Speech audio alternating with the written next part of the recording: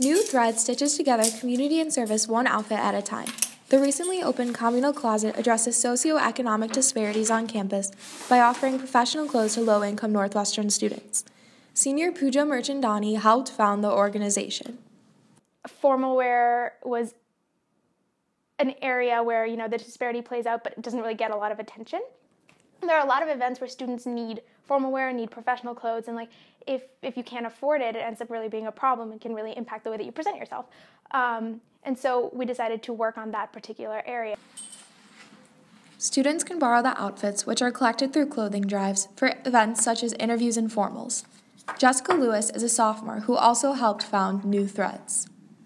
We're a very professional um, school in general. We have our like students are really like career-minded people.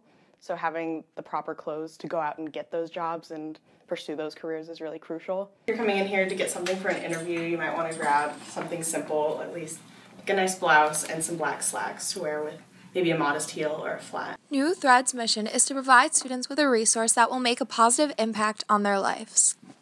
I want to help people. It seems really silly to me that this is something that we don't have already. Um, and so if I can help people through through something like this, like I just I want to.